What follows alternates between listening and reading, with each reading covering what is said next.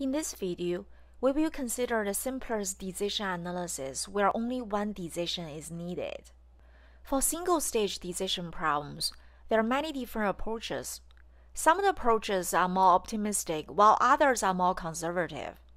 These different approaches sometimes lead to different decision recommendations. The decision makers must understand the approaches available and then select the specific approach that is the most appropriate. These approaches are also referred to as rules. For example, the maxi-max rule is an optimistic approach, while maxi-min rule is a conservative approach. I'm going to describe each rule for you. The maxi-max decision rule is when a decision maker optimistically believes that nature will always be on his side, regardless of what decision is made.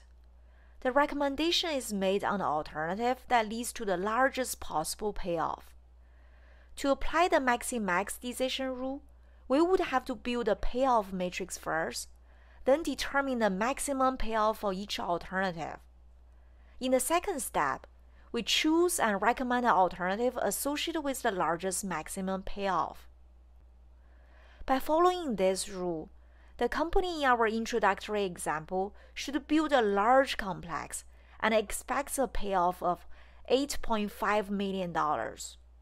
In contrast to the maxi-max decision rule, maxi-min rule is suitable if the decision maker pessimistically assumes that nature will always be against him, regardless of what decision is. The recommendation is made on the alternative that hedges against the worst, worst possible outcome of a decision. To apply the maxi-min decision rule, we first find a minimum payoff for each alternative, and then choose and recommend the alternative associated with the highest minimum payoff. In our example, the company should build a small complex and expects a payoff of $3 million. Instead of using the payoff matrix, a similar process can be applied to the regret matrix. The mini-max decision rule is appropriate if the decision maker intends to minimize the worst possible. The recommendation is made on an alternative that hedges against the worst possible regret of a decision. We first build a regret matrix, determine maximum regret for each alternative, and then recommend the alternative associated with the lowest maximum regret. In our example, the company expects a $3.8 million opportunity loss if it builds a medium complex. The first three rules we just learned do not require knowledge of the probabilities of the states of nature. But in many real life situations, we may be provided with probability assessments of the states of nature. The next two rules are particularly helpful when such probabilities are available. The expected monetary value, or EMV rule, incorporates these probabilities and calculates the expected monetary value for each alternative. We first calculate the weighted average payoff for each alternative, and then choose the alternative with the highest EMV that is, the alternative with the highest expected payoff. Using one third chance for each of the three states of nature, the company would have the highest expected payoff if it chooses to build a medium complex. The expected payoff is $3.03 million. The expected opportunity loss, or EOL decision rule, is similar to the EMV decision rule but is based on the regret matrix. Based on the regret matrix, we calculate the weighted average regret for each alternative, and then choose the alternative with the lowest EOL, that is, the alternative with the smallest expected opportunity loss. In our example, the company expects the least amount of opportunity loss if it builds a medium complex.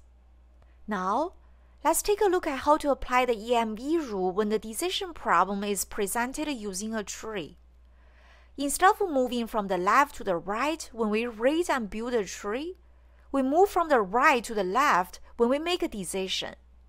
When we encounter a chance node, that's a circle, we calculate the EMV based on the branches, That is all the states of nature at a node. When we encounter a decision node that's represented using a square, we choose the branch with the highest EMV.